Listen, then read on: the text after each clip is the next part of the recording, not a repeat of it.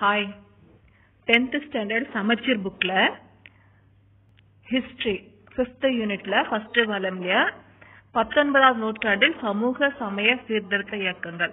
இதுல இன்னைக்கு நாம பார்க்க போறது முஸ்லிம் சமய சீர்திருத்த இயக்கங்களை பத்தி பார்க்க போறோம். ஃப்ரெண்ட்ஸ் இது வரைக்கும் நம்மளுடைய சேனலை நீங்க சப்ஸ்கிரைப் பண்ணனா சப்ஸ்கிரைப் பண்ணிக்கோங்க. பக்கத்துல இருக்கிற பெல் பட்டனை கிளிக் பண்ணிக்கோங்க. ஏன்னா அப்பதான் புது வீடியோஸ் உங்களுக்கு நோட்டிபிகேஷன்ல வரும். இஸ்லாமிய சீர்திருத்தங்களை பத்தி பார்க்கலாம். எயிட்டீன் பிப்டி செவன்ல பெரும் புரட்சி ஒடுக்கப்பட்டதுக்கு அப்புறமா இந்திய முஸ்லிம்கள் வந்து மேற்கத்திய பண்பாட்டை சந்தேக கண்ணோட பாக்குறாங்க. மேற்கத்திய கல்வி பண்பாடு மேற்கத்திய சிந்தனைகள் இவை எல்லாமே தங்களுடைய மதத்திற்கு ஆபத்து அமையுமோ அப்படிங்கிற ஒரு பயம் வந்து இந்த முஸ்லிம்ஸ்க்கு இருந்தது. அதனால முஸ்லிம்களுடைய ஒரு சிறிய பிரிவினர் தான் மேற்கத்திய கல்வியில படிக்கணும் அப்படின்ட்டு முன் வந்தாங்க. இதன் விளைவாக இந்திய முஸ்லிம்கள் ஒப்பீட்டளவுல இந்தியாவுடைய பல்வேறு பகுதிகளை சேர்ந்த செல்வாக்கு பெற்றிருந்த இந்துக்களை விட ஒரு சமூகம் அப்படிங்கிற அளவுல பின்தங்கி இருந்தாங்க இப்ப சர் சையத் அகமது கான் பத்தி பார்க்கலாம். கல்வி அரசு பணிகள் தேசிய அளவில் தலைமை வகிக்கிறது. ஆகியவற்றில் தங்களுடைய இடங்களை பெரிதும் இழந்துவிட்ட இந்திய முஸ்லிம்கள் தங்களுடைய சமூக முன்னேற்ற பாதையில போகணும் அப்படின்னா ஆங்கில கல்வி ஏற்றுக்கொள்வதை தவிர வேற மாற்று இல்லை அப்படின்னு சொல்றது புரிஞ்சுக்கிட்டாங்க. இந்த புரிதலுக்கு உயிரும் உணர்வும் கொடுத்தவர் தான் சர் சையத் அகமது கான். இவருடைய டைம் வந்து எயிட்டீன் செவன்டீன்லேருந்து எயிட்டீன் நைன்டி எயிட் வரைக்கும். டெல்லியில் வந்து ஒரு உயர் உயர்குடி முஸ்லீம் குடும்பத்தில் இந்த சையத் அகமது பிறக்கிறாரு. படிப்பறிவு இல்லை இவருக்கு. குறிப்பாக சொல்லணும்னு நவீன கல்வி அறிவின்மையை இஸ்லாமியர்களுக்கு பெரும் தீங்கு விளைவித்து அவங்கள கீழ்நிலை வச்சுட்டுது அப்படின்னு சொல்லிட்டு சர் சையத் அகமது தான் நினைக்கிறாரு. மேலை நாட்டு அறிவியலையும் அரசு அரசு பணிகளையும் ஏற்றுக்கொள்ளும்படி அவர் வந்து இஸ்லாமியர்களை வற்புறுத்துறாரு. அறிவியல் கழகம் ஒன்றை நிறுவினாரு. அறிவியல் கழகம் ஒன்றை நிறுவனது யாருன்னா சர் சையது அகமது கான். நிறுவனாரு ஆங்கில நூல்களை குறிப்பாக அறிவியல் நூல்கள் உருது மொழியில மொழியாக்கம் செய்யறாரு மேலெழுந்து வரும் தேசிய இயக்கத்துல இணைவதை காட்டிலும் ஆங்கில அரசோட நல்லுறவு மேற்கொண்டால் இஸ்லாமிய நலன்கள் பேணப்படும் அப்படின்னு சொல்லிட்டு சர் சையத் அகமது கான் நம்புறாரு. அதனால அவர் வந்து இஸ்லாமியருக்கு ஆங்கில கல்வியை பயிலும்படியும் அதுல கவனம் செலுத்தும்படியும் அறிவுரை சொல்றாரு. அலிகார் இயக்கம் பத்தி பார்க்கலாம். Sir Syed sir Syed Ahmed Khan eighteen seventy ஃபைவ்ல அலிகார் நகர்ல சர் சையது அலிகார் முகமது ஆங்கில ஓரியண்டல் கல்லூரியை வந்து நிறுவுறாரு. இதே எயிட்டீன் செவன்டி ஃபைவ்ல இன்னொரு மகான் வந்து ஒரு கழகத்தை ஆர- ஆரம்பிச்சிருந்தாரு. ச- சரஸ்வதி தயா தயாள் இவர் வந்து ஆரிய சமாஜம் தயானந்த சரஸ்வதி ஞாபகம் இருக்கா? இதே எயிட்டீன் செவன்டி ஃபைவ்ல தான் ஸ்டார்ட் பண்ணியிருந்தாரு. அலிகார் இயக்கம் எனப்பட்ட இவருடைய இயக்கம் வந்து இந்த கல்லூரியை மையப்படுத்தி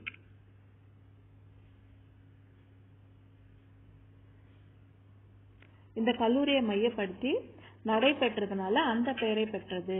இந்திய முஸ்லிம்களுடைய கல்வி வரலாற்றை இந்த கல்லூரி ஒரு மைல்கல்லாக அமைஞ்சது. நைன்டீன் டுவெண்ட்டில இந்த கல்லூரி தரம் உயர்த்தப்பட்டு பல்கலைக்கழகமாக மாறினது. நைன்டீன் எயிட்டீன் செவன்டி ஃபைவ்ல சர் சையத் அகமது கான் கல்லூரி வந்து ஸ்டார்ட் பண்றாரு.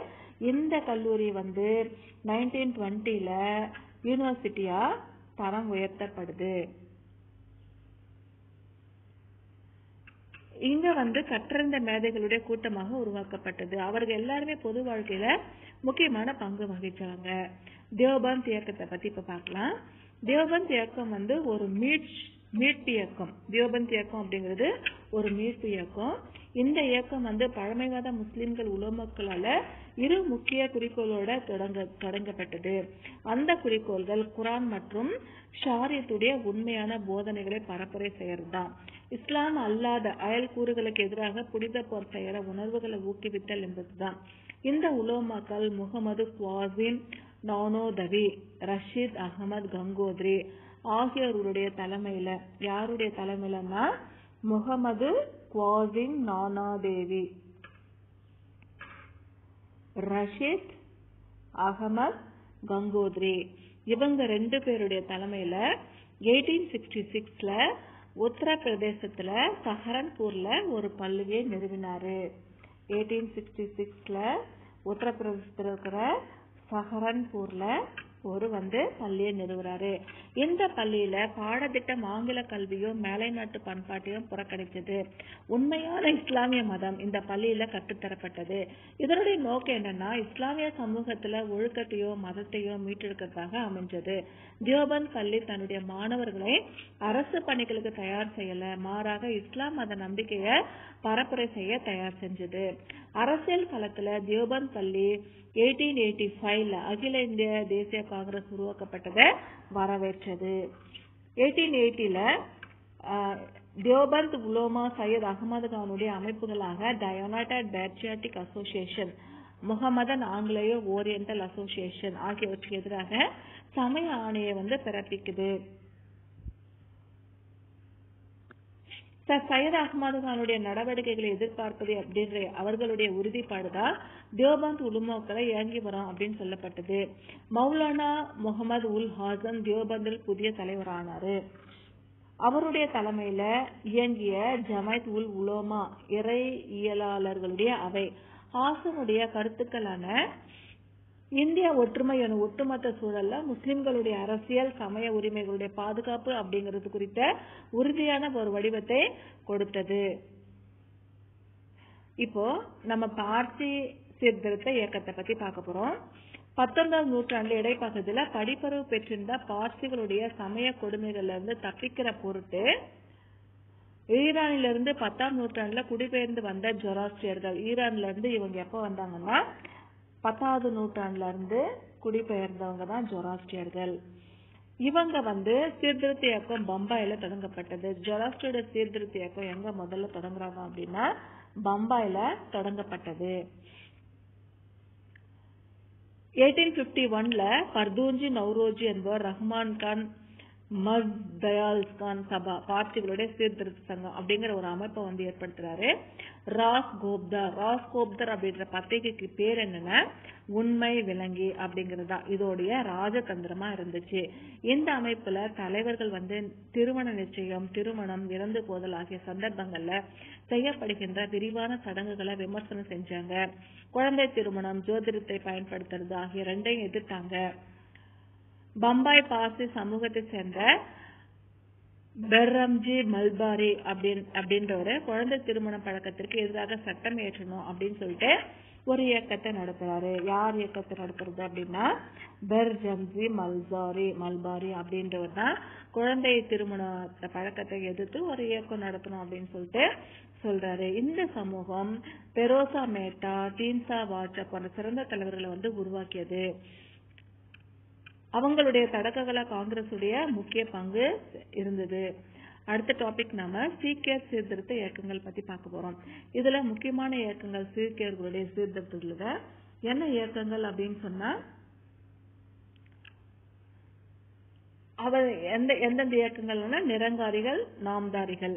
இந்த சீர்திருத்த இயக்கத்துடைய அலைகள் வந்து எந்த ஒரு சமூகத்தையும் நினைக்காம விட்டு வைக்கல. பஞ்சாப் சீக்கிய சமூகத்துல சீர்திருத்த முயற்சிகள் மேற்கொள்ளப்பட்டது. நிரங்கார் இயக்கத்தின் நிறுவனாக இருந்தவர் யாருன்னா?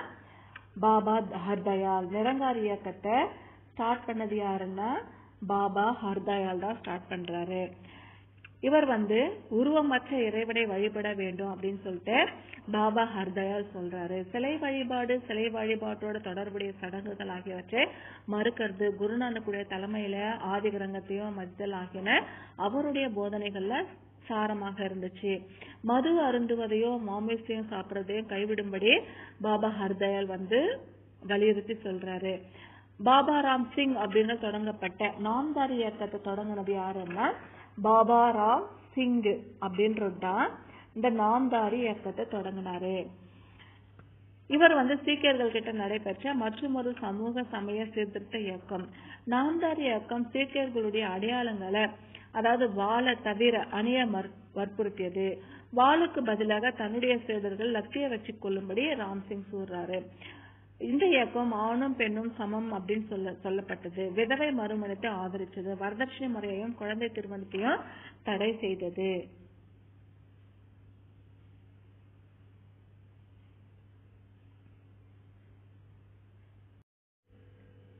ஆரிய சமாஜம் கிறிஸ்துவ சமய பரப்பு நிறுவனங்கள் ஆகியவற்றின் செல்வாக்கு வளர்ந்து கொண்டிருந்த ஒரு சூழல்ல சிங் சபா என்ற ஒரு அமைப்பை அமிர்தசரஸ் நிறுவப்பட்டது. இந்த சிங் சபா அப்படிங்கிற அமைப்பு எங்க நிறுவப்பட்டது அப்படின்னு சொன்னா அமிர்தசரஸ்ல நிறுவப்பட்டது. சீக்கிய மதத்தினுடைய புனிதத்தை மீட்டெடுக்கிறது தான் சபாவுடைய முக்கியமான குறிக்கோளாக இருந்தது. புனிதத்தை மீட்டெடுத்தல். சீக்கிய மதத்துடைய புனிதத்தன்மையை மீட்டெடுத்தல் தான் கிங் சபாவுடைய முக்கியமான குறிக்கோளாக இருந்தது. ஆங்கிலேயருடைய ஆதரவோட அம்பேத்கர் சீக்கியர்களுக்கு அப்படின்ற ஒரு கால்சா கல்லூரி நிறுவப்பட்டது.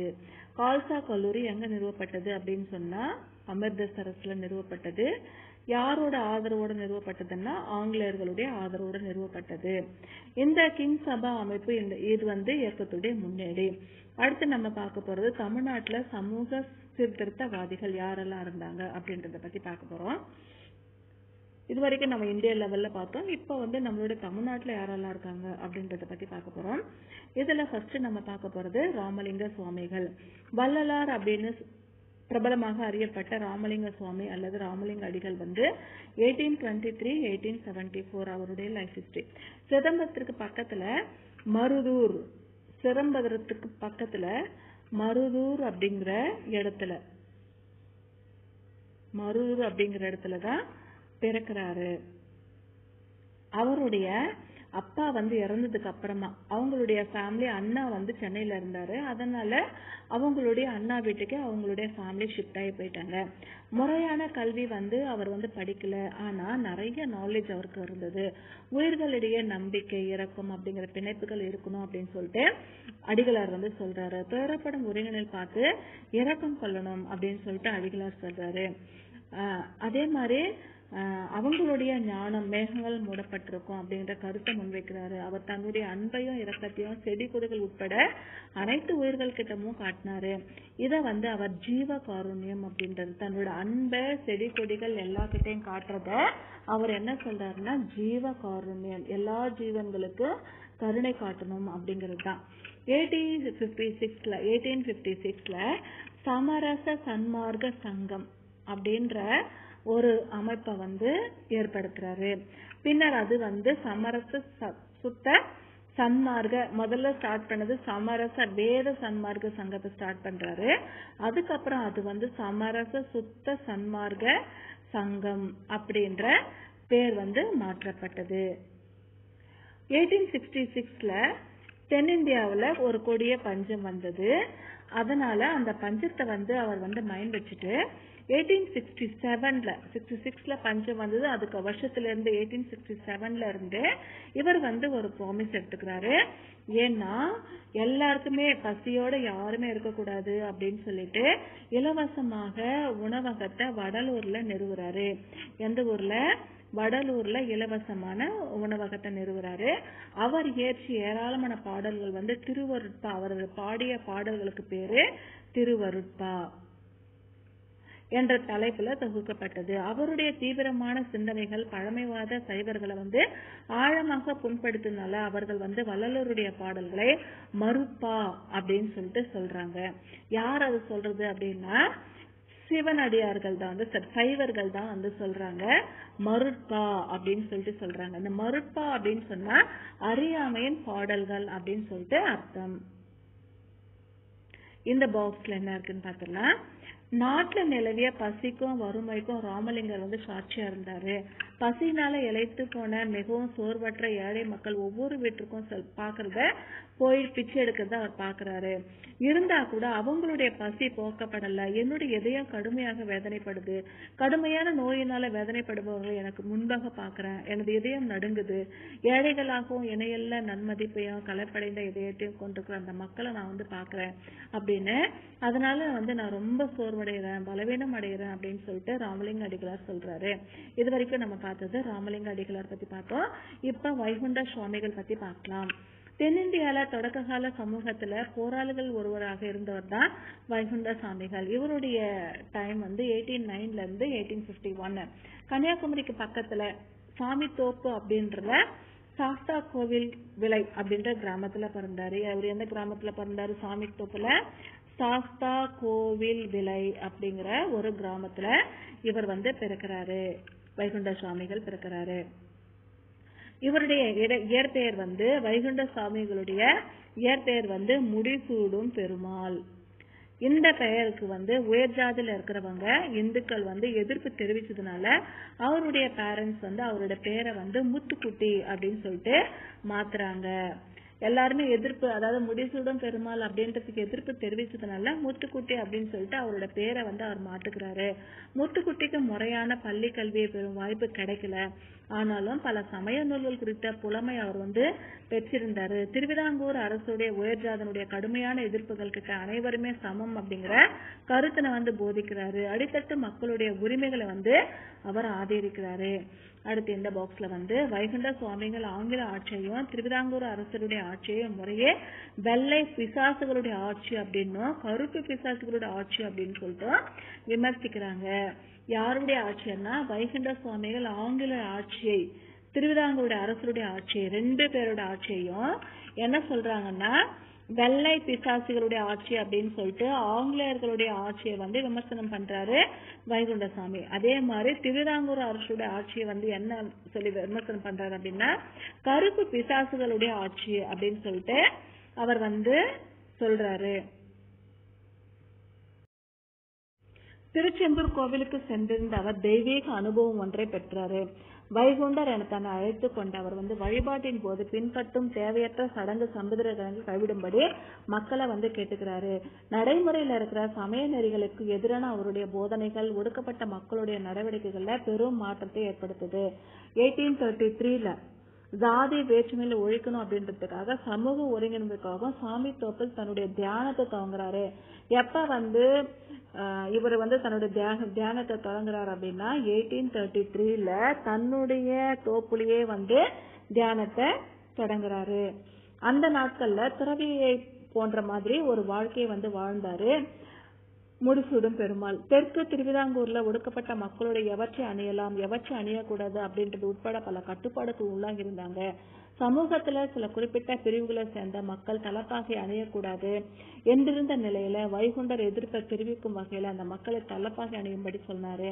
இது ஒடுக்கப்பட்ட மக்களுக்கு சுதந்திர உணர்வை வழங்கியதோட அவர்களுக்கு சுயமரியாதை சார்ந்த ஊக்கத்தையும் கொடுத்தது. அவரை பின்பற்றினவங்க மனங்களில் புதிய நம்பிக்கை ஊன்றப்பட்டது. பத்தொன்பதாம் நூற்றாண்டுல அரங்கேறிய ஏனைய சமகால சீர்திருத்த இயக்கங்களைப் போலவே வைகுண்ட சாமிகளும் உருவ வழிபாட்டை எதிர்க்கிறாரு. ஒடுக்கப்பட்ட மக்கள் தங்களோட தெய்வங்களுக்கு என கோவில்களை பெற்றிருக்கல. தங்களுடைய தெய்வங்களை மேன்மைப்படுத்தும் பொருட்டு களிமண்ணால அல்லது செங்கல்லால சிறிய பிரமிடுகளை கட்டி அவற்றுக்கு சாந்து பூசி வெள்ளை எடுத்து வச்சிருந்தாங்க. அந்த வடிவங்களை வழிபடுவது அநாகரிகமான பழக்கம் அப்படின்னு சொல்லிட்டு வைகுண்டர் வந்து கருதுறாரு. விலங்குகளை வணங்குறதையும் அவர் நிராகரிக்கிறாரு. வழிபாட்டின் போது மக்கள் ஆடுகள் சேவல்கள் கோழிகள் ஆகியவற்றை பலி கொடுக்கிற சமய சடங்குகளை கண்டனம் செய்த வைகுண்ட சுவாமிகள் விலங்குகளை பலியிடுவதற்கு எதிராக இயக்கம் நடத்துறாரு. பல்வேறு ஜாதிகளை சேர்ந்த மக்களை ஒருங்கிணைப்பதற்காக வைகுண்ட சுவாமிகள் சமத்துவ சமாஜம் அப்படிங்கிற அமைப்பை நிறுவுறாரு. அந்த நோக்கத்துல வெற்றி பெறுவதற்கான அனைத்து ஜாதி மக்களுமே சேர்ந்துண்ணும் சமபந்தி விருந்துகளை நடத்துறாரு. திருவிதாங்கூர் அரசனால சிறையில் அடைக்கப்பட்டப்ப கூட அவர் தன்னுடைய கொள்கைகளை விட்டு தரல. அவரை பின்பற்றினவங்க அவரை மிக்க மரியாதையோட ஐயா தந்தை அப்படின்னு சொல்லிட்டு முடிசூடும் பெருமாளை எல்லா மக்களுமே என்ன சொன்னாலும் அவரை ஃபாலோ பண்றவங்க எல்லாருமே ஐயா அப்படின்னு சொல்லிட்டு சொன்னாங்க. அவருடைய சமய வழிபாட்டு முறை ஐயா வழி அப்படின்னு சொல்லப்பட்டது. அவருடைய அறிவுரைகள் நீக்குவதற்கு நீக்கும் புறமாக சமூக பழக்க வழக்கங்கள்ல இருந்து மூட நம்பிக்கைகள்ல இருந்து மக்களை விடுத்தது அவருடைய கருத்துக்கள் ஒரு நூலாக திறக்கப்பட்டது. அந்த நூலுடைய பெயர் அகில திரட்டு முடிசூடும் பெருமாள் வந்து ஒரு நூலை எழுதினாரு. அந்த நூலுக்கு பேர் வந்து அகில திரட்டு அப்படிங்கிறது. முடிசூடா பெருமாள் எழுதின நூலுக்கு பேரு அகில திரட்டு. அயோத்திதாசர் அடுத்து நம்ம பார்க்க போறது அயோத்திதாசரை பார்க்க போறோம். அயோத்திதாசர் பண்டிதர் எயிட்டீன் பிப்டி எயிட்டீன் ஃபார்ட்டி ஃபைவ்ல இருந்து நைன்டீன் ஃபோர்டீன் வரைக்கும் அவருடைய லைஃப் டைம் ஒரு தீவிர தமிழ் அறிஞரும் சித்த மருத்துவரும் பத்திரிகையாளரும் சமூக அரசியல் செயல்பாட்டாளருமாக அயோத்திதாச பண்டிதர் இருந்தாரு. சென்னையில பிறந்த அவர் வந்து தமிழ் ஆங்கிலம் சமஸ்கிருதம் பாலி ஆகிய மொழிகள்ல புலமை பெற்றிருந்தாரு. சரளமாக பேசுவாரு. அதுவரையிலும் உயர் ஜாதியினருடைய ராஜ்யமாக விளங்கி அச்சிட்டு வெளியிடுகின்ற இதழியலை தன்னுடைய கருவியாக கொண்ட அயோத்திதாசர் ஒரு புதிய அறிவு பரப்பும் முறையை முன்னெடுக்கிறாரு. சமூக நீதிக்காக இயக்கம் நடத்திய அவர் வந்து ஜா- ஜாதியத்தின் கொடிய பிடியிலிருந்து ஒடுக்கப்பட்டவங்க விடுதலை பெற பாடுபடுறாரு. ஜாதிகளற்ற அடையாளத்தை நிறுவ முயன்ற அவர் வந்து ஜாதிய மேலாக்கத்திற்கும் தீண்டாமைக்கும் எதிராக கண்டன குரல் எழுப்புறாரு. கல்வியை வந்து வலிமை பெறுவதற்கான கருவியாக கருதி அவர் வந்து தமிழகத்தில் ஒடுக்கப்பட்டிருக்கிற பல பள்ளிகை உருவாக்கப்படுவதற்கு உந்து சக்தியாக இருக்கிறாரு. ஒடுக்கப்பட்டோருடைய கோயில் நுழைவுக்கு ஆதரவாக குரல் எழுப்புவதற்காக பண்டிதர் அயோத்திசர் அஜய் தானந்தா சபா அப்படின்ற அமைப்பை நிறுவினாரு எதுக்காக அத்வைனாந்த சபா அப்படின்னு நிறுவுறாருன்னா ஒடுக்கப்பட்ட மக்கள் வந்து கோவிலுக்குள்ள நுழையறதுக்கு ஆதரவாக இருக்கணும் அப்படின்றதுக்காக அயோத்திதாசர் பண்டிதர் வந்து அத்வைதானந்த சபா அப்படிங்கிற ஒரு சபாவா நிறுவுறாரு. எயிட்டீன் எயிட்டி டூல அயோத்திதாசரும் ஜான் திரவியம் என்பவரும் திராவிடர் கழகம் என்ற அமைப்பை நிறுவுறாங்க. திராவிடர் கழகம் அப்படின்ற அமைப்பு வந்து எப்ப நிறுவப்பட்டதுன்னா எயிட்டீன் எயிட்டி டூல நிறுவப்பட்டது. அதை நிறுவனது யாரு அப்படின்னா அயோத்திதாசரும் ஜான் திரவியம் அப்படின்ற ரெண்டு பேர் தான் அதை வந்து நிறுவுறாங்க. மேலும் எயிட்டீன் எயிட்டி ஃபைவ்ல திராவிடிய பாண்டியன் அப்படிங்கிற இதய வந்து தொடங்குறாரு. திராவிட பாண்டியன் அப்படிங்கிற இதய வந்து அயோத்திதாசர் எப்ப தொடங்குறாருன்னா எயிட்டீன் எயிட்டி ஃபைவ்ல திராவிட பாண்டியன் அப்படிங்கிற இதழ வந்து தொடங்குறாரு. திராவிட மகாஜான சபை அப்படிங்கிற ஒரு அமைப்பை எயிட்டீன் நைன்டி ஒன்ல திராவிட மகாஜான சபை அப்படிங்கிற அமைப்பை வந்து எயிட்டீன் நைன்டி ஒன்ல ஸ்டார்ட் பண்றாரு. அந்த அமைப்புடைய முதல் மாநாட்டை நீலகிரியில தான் நடத்துறாரு. அதாவது திராவிட மகாஜன சபையுடைய முதல் மாநாட்டை நீலகிரியில அயோத்திதாச பண்டிதர் வந்து நடத்துறாரு. நைன்டீன் நைன்டீன் செவன்ல நைன்டீன் செவன்ல ஒரு பைசா தமிழன் ஒரு பைசா தமிழன் அப்படின்னு ஒரு வார பத்திரிகை தொடங்கினது யாருன்னா அயோத்திதாச பண்டிதர். இவர் வந்து எப்ப தொடங்குறாருன்னா நைன்டீன் செவன்ல தொடங்குறாரு. இந்த ஒரு ஒரு பைசா தமிழன் அப்படிங்கிறது ஒரு வார பத்திரிகை. இந்த- இந்த மாதிரி கூட கேட்பாங்க. தினசரி பத்திரிகை வார பத்திரிகை இந்த மாதிரி கூட உங்களுக்கு கொஸ்டின் வரலாம். ஒரு பைசா தமிழன் அப்படிங்கிறது நைன்டீன் செவன்ல ஸ்டார்ட் பண்றாரு. அது வந்து ஒரு வார பத்திரிகை. தொடங்கி அதை வந்து நைன்டீன் ஃபோர்டீன்ல அவர் சாகர வரைக்கும் தொடர்ந்து வெளியிட்டு இருந்தாங்க நைன்டீன் ஃபோர்ட்டி வரைக்கும் ஃபோர்டீன் வரைக்கும் ஒரு சம் ஒரு பைசா தமிழன் வந்து ரன் ஆயிட்டு இருந்தது. பண்டிதர் அயோத்திதாசன் சாதியத்தை பரப்புரை செய்கிற அதே அதை வந்து நியாயப்படுத்தவும் அடித்தளமாக விளங்கிய இந்து தர்மத்தின் பால் மனக்கசப்பட்டுறாரு பிரம்மஞான சபையை வந்து பிரம்மஞான சபை நிறுவனர்கள் ஒருவரான கர்னல் ஹெச் எஸ் ஆல்காட் ஏற்படுத்திய தாக்கத்தின் விளைவாக எயிட்டீன் நைன்டி எயிட்ல லங்கைக்கு போனவர் வந்து எயிட்டீன் நைன்டி எயிட்ல லங்கைக்கு போறாரு. லங்கைக்கு போயிட்டு அங்க வந்து பௌத்தத்தை தழுவுறாரு. லங்கையில வந்து பௌத்தத்தை தழுவுறாரு அயோத்திதாச பண்றாரு. அதே வருஷம் பௌத்த மதத்துடைய வழியே பகுத்தறிவின் அடிப்படையிலான சமய தத்துவ கட்டமைப்பிற்காக சாக்கிய பௌத்த சங்கம் அப்படிங்கிற ஒரு சங்கத்தை சென்னையில அயோத்திதாச பண்டிதர் ஸ்டார்ட் பண்றாரு. சாக்கிய பௌத்த சங்கம் அப்படிங்கிற சங்கத்தை எந்த இடத்துல அயோத்திதாச பண்டிதர் ஸ்டார்ட் பண்றாரு? சென்னையில ஸ்டார்ட் பண்றாரு? இந்த கொஸ்டின் ஒரு முறை பிடிடிஆர்பில கேட்டிருந்தாங்க. பிராமணியத்தால ஒடுக்கப்பட்டவங்களே உண்மையான பௌத்தர்கள் அப்படின்னு சொல்லிட்டு அயோத்திதாசர் பண்டிதர் வாதிடுறாரு. பௌத்த சமய நிலைப்பாட்டில இருந்து தமிழ் இலக்கியங்களும் நாட்டார் வழ வழக்காட்சியல் மரபுக்கும் புதிய விளக்கங்கள் கொடுத்த அவர் வந்து ஒரு மாற்று வரலாற்றை கட்டமைக்கிறாரு. மேலும் பௌத்த சமய மீட்பின் வழியாக இந்து சமயத்தை பிடித்திருக்கிற ஜாதிய கொடுமைகள்ல இருந்து மக்களை விடுமுத்த இயலும் அப்படின்னு சொல்லிட்டு உழைச்சாரு. ஒடுக்கப்பட்டவங்களை ஜாதி பேதமற்ற திராவிடர் என அழைத்தவர். மக்கள் தொகை கணக்கெடுப்பின் பொழுது அவர் அவர்களுடைய ஜாதியற்ற திராவிடர்கள் என பதிவு செய்யுமாறு வற்புறுத்தினாரு. இதுவரைக்கும் இந்த அயோத்திதாசர் பண்டிதர் வரைக்கும் இந்த லெசன் முடிஞ்சிருச்சு. இப்போ வந்து பாட சுருக்கத்தை பத்தி பார்க்கலாம். இந்த லெசன்ல என்னெல்லாம் இம்பார்ட்டண்டா கொடுத்திருக்காங்களோ அதுதான் இந்த பாட சுருக்கத்துல கொடுத்திருக்காங்க. இதுல ஃபர்ஸ்ட் பாயிண்ட் சமூக பண்பாட்டு சீர்திருத்தங்களுக்காக ராஜாராம் மோகன் ராய் மேற்கொண்ட முன்முயற்சிகள் குறித்த சுருக்கமான விபரம் தரப்பட்டுள்ளது. செகண்ட் பாயிண்ட் ராஜாராம் மோகன் ராயர் பிரம்ம சமாஜம் நிறுவ பெற்றதும் அவருடைய ஏற்பிற்கு அப்புறமா சமாஜத்தின் செயல்பாடுகளை முன்னெடுத்து செல்றதுல மகரிஷி தேவேந்திரன் தாக்கூரும் கேசவ சந்திர சென்னும் வகித்த பங்கு குறித்தும் விவாதிக்கப்பட்டது. அடுத்து தேர்ட் பாயிண்ட் எம் ஜி ராணடேவுடைய பங்களிப்பும் அவர் இணைந்து செயல்பட்ட பிரார்த்தனை சமாஜத்துடைய பங்களிப்பும் ஆய்வு செய்யப்பட்டது. அதுக்கு அடுத்த பாயிண்ட் சுவாமி தயானந்த சரஸ்வதியுடைய ஆதரவில் இந்து மதத்தை சீர்திருத்த ஆரிய சமாஜம் மேற்கொண்ட முயற்சிகளும் மதம் மாறியவர்களை மீண்டும் இந்து மதத்திற்குள்ள கொண்டு வருவதற்கு எடுக்கப்பட்ட நடவடிக்கைகளும் கோடிட்டு காட்டப்பட்டன. தீவிர சீர்திருத்தவாதியான ஈஸ்வர சந்திர வித்யாசாகர் குறித்தும் பெண்களுடைய மேம்பாட்டிற்காக அவருடைய முயற்சிகளும் விளக்கப்பட்டது.